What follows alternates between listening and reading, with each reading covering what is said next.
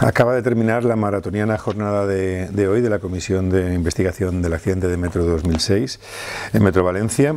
en la que hemos tenido tres comparecencias. Eh, por esta mañana, eh, Manuel Montero, eh, responsable de la vigilancia de, de ferrocarriles, y a priori responsable de la vigilancia de la unidad siniestrada que estuvo allí hasta que se ordenó su destrucción en, en la campa de Valencia Sud eh, a la intemperie pero con una lona, bueno pues nos ha estado relatando de qué forma se, se custodió esa prueba a, priori judicial y ha sido la verdad lamentable conocer que había una, una única cámara que estaba eh, a unos 100 metros de la,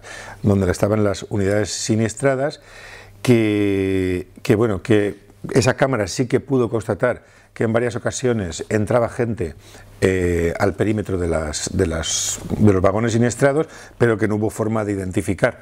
La, semana pasada Arturo Rocher eh, confirmó que esas imágenes las pasó a su superior, Manuel Sansano, y que nadie hizo nada al respecto para averiguar quién había entrado y por qué. Hoy a última hora el jefe de taller ha dicho no saber nada y eh, que por las noches no trabajaban los talleres de forma normal, por tanto sabemos sin saber quién estuvo entrando en la UTA cuando estaba precintada y debía haber sido custodiada. Pero en cualquier caso Ferrocarril no tuvo ningún interés en, custodiarla adecuadamente, puesto que insisto que era una única cámara a 100 metros y que además los vigilantes estaban en un puesto, donde, una sala de control, donde habían eh, varios monitores y esa era una de las 500 cámaras que tenían que hacer supervisión. Por tanto, a saber lo que pasó durante todo ese tiempo.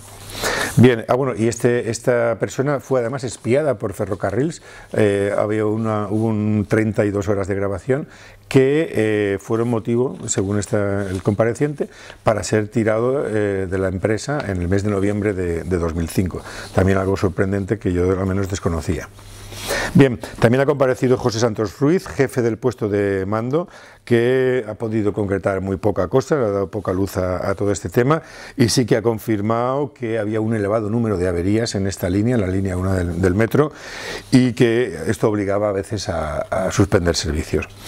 Y por último, esta tarde hemos tenido una sesión larguísima de más de cuatro horas eh, con Luis Domingo Alepuz, jefe de taller de, de ferrocarriles, que la verdad es que mm, se ha ido por las ramas en multitud de ocasiones, parece que sí que ha destacado algún aspecto concreto del que podremos sacar punta, ha dicho que va a juntar algo más de documentación de la que podremos sacar más información. Y yo creo que tenemos que digerir un poco toda esta sesión de más de cuatro horas para intentar sacar alguna, alguna conclusión. Para él eh, está claro que la única causa es la velocidad, eh, que el tren volcó, antes de, descarrilar y que esa fue la única causa y que por lo demás Ferrocarril hizo lo que tenía que hacer, cosa que como todos hemos sabido hubo múltiples deficiencias e inoperancias durante mucho tiempo que al final llegaron a, una catastrófica, a un catastrófico resultado de tantas, tantos muertos y tantos heridos. Si hubieran tomado cartas en el asunto los responsables de diversos departamentos de ferrocarriles, el resultado no hubiera sido ese.